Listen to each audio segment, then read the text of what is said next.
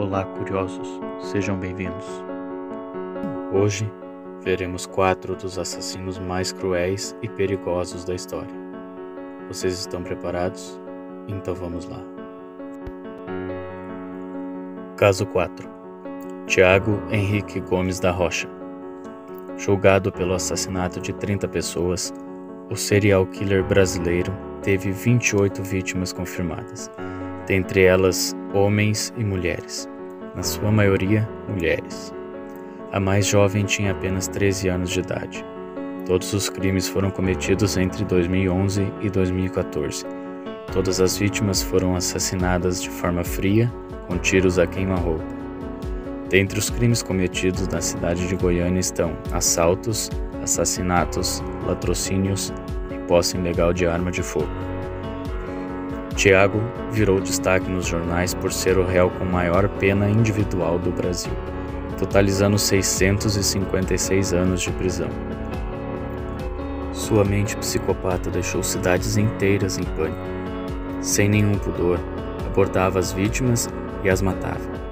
Para não ser identificado pela polícia, ele alterava as placas das motos que usava em seus crimes. Mas seu truque não durou para sempre e ele acabou sendo pego.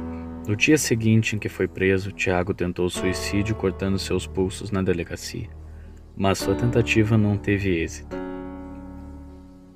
Tiago era uma pessoa extremamente violenta e instável. Agrediu repórteres e posteriormente colegas de cela. Mas uma carta de arrependimento escrita por Tiago chamou a atenção de todos. Nela, ele havia escrito: Eu tinha essa voz, esse sentimento demoníaco que me possuía. Eu não sei o que me levou a fazer isso. Encerrou Tiago. No fim, atribuiu seu arrependimento à fé. Tiago foi preso e condenado a 656 anos de prisão.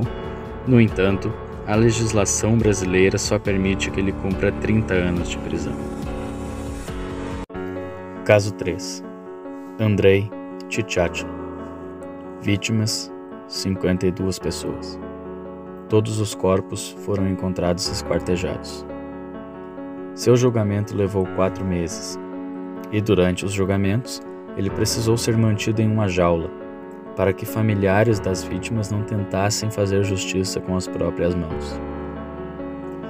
Conhecido como o açougueiro de Rostov, cidade russa onde os assassinatos aconteciam, Andrei relatou com detalhes como matava e comia suas vítimas e demonstrou tudo com um manequim como as esquartejava. Ele gostava de abordar jovens adultos e adolescentes em estações e durante as viagens que fazia, e geralmente eram viagens de trem. Ele atraía suas vítimas para longe dos lugares movimentados e as golpeava na cabeça. Assim que acabava de amarrá-las, Andrei iniciava sua sessão de tortura. Geralmente, iniciava arrancando os olhos e a língua das suas vítimas, para que elas não pudessem gritar. Às vezes, utilizavam a faca, outras vezes, os próprios dentes. Andrei disse no tribunal que quanto mais dor suas vítimas sentiam, mais ele se enchia de prazer. Muitas vezes, depois de torturá-las, Andrei se alimentava de seus órgãos genitais. Quando acabava, ele escondia as roupas longe do corpo, cada peça em um lugar diferente. Andrei foi preso em flagrante tentando fazer outra vítima, próximo a uma estação de trem, em 1990. Ele foi condenado à pena de morte e executado com um tiro na cabeça em fevereiro de 1994. Caso 2 Pedro Alonso Lopes Vítimas: 300 garotas. 53 corpos encontrados, todas com idade entre 8 e 12 anos de idade. Pedro confessou e detalhou como assassinou todas as suas vítimas e ficou conhecido como o Monstro dos Andes. Ele enganou, estuprou e estrangulou centenas de jovens garotas durante suas viagens por três países. Dentre eles são Colômbia, Peru e Equador. Pedro normalmente abordava meninas que moravam nas ruas Ele as levava para o interior de imóveis abandonados e ali as estuprava, aterrorizava e estrangulava suas vítimas. Quando acabava, jogava os corpos dentro de buracos. Ele também cometia alguns crimes de roubo. Após algum desses assaltos, Pedro acabou sendo preso e, dentro da cadeia, assassinou em legítima defesa dois homens que abusavam dele. Após ser libertado da prisão, Pedro estava prestes a se tornar um dos criminosos mais sanguinários de todos os tempos. Ele perambulou pela Colômbia, Peru e Equador por quase 10 anos, atacando meninas de rua que ninguém se importava. Mas em 1980 ele cometeu um erro. Uma de suas vítimas era uma menina de classe média e isso chamou a atenção das autoridades e da mídia. Certo dia, ao abordar uma menina em uma feira de rua, chamou a atenção de uma senhora que estava ali bem próxima dele, e com a ajuda das pessoas que estavam na feira, fecharam o cerco contra Pedro e o entregaram à polícia. Ele confessou todos os crimes e contou onde estavam 50 corpos de suas vítimas. Para a justiça equatoriana, não importa quantas pessoas você tenha matado. A pena máxima para crimes de homicídio doloso é de 16 anos. Mas Pedro cumpriu apenas 14 anos e foi encaminhado para um hospital psiquiátrico. Em 1998, ele saiu do hospital, voltou para casa apenas para roubar pertences da família e fugiu para fazer sua última vítima. Foragido até 2002, Pedro Lopes voltou para a prisão, onde continua até hoje condenado à prisão perpétua.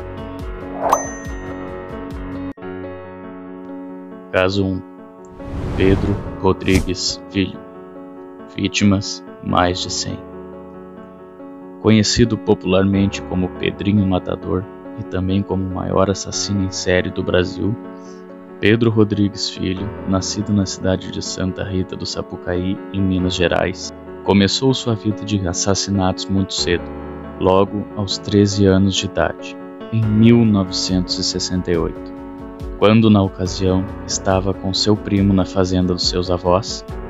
Em um desentendimento, o primo acertou um soco na cabeça de Pedrinho, e ele então jurou vingança a esse primo.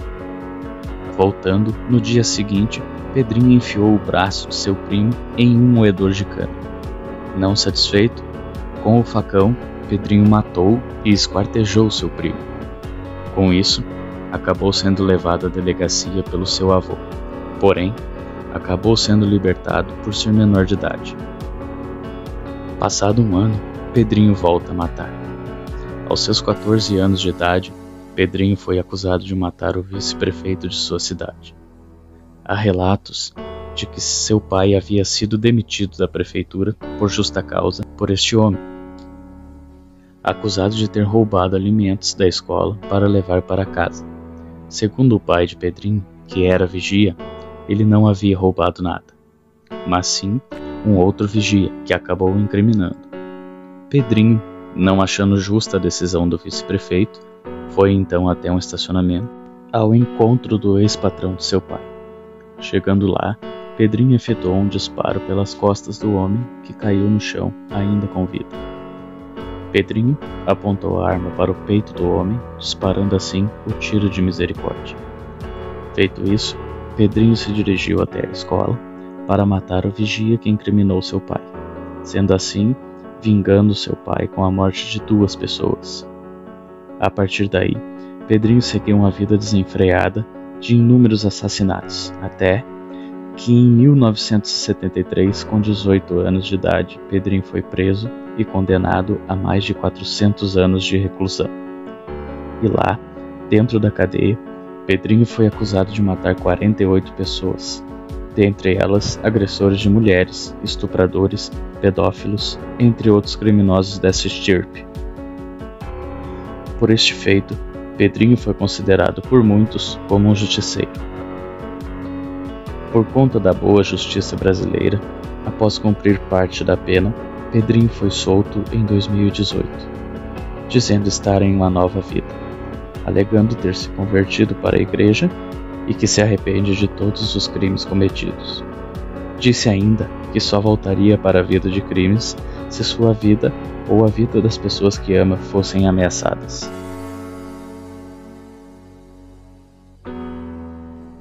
Então, esse foi o top 4 dos maiores serial killers da história. Se gostou, inscreva-se no canal, compartilhe e deixe seu like. E ah, não se esqueça, as ruas estão cheias de psicopatas. Até a próxima. Tchau.